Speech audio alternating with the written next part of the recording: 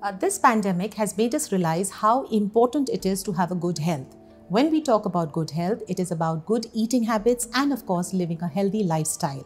So, this Nutrition Month, let's all take a pledge towards good, healthy eating habits and leading a healthy lifestyle. So, let me share some quick eating healthy tips with all of you. First, start your day healthy. Start with a good, refreshing, and a healthy breakfast. Second, snack smartly. What you eat in between the meals is very, very important. So, stress on eating on healthy snacks through the day.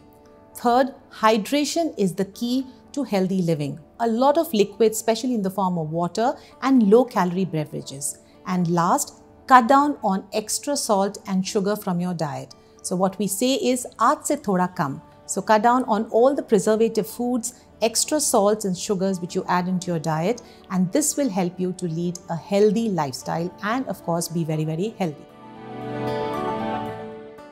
Like and follow our page for the latest healthcare updates.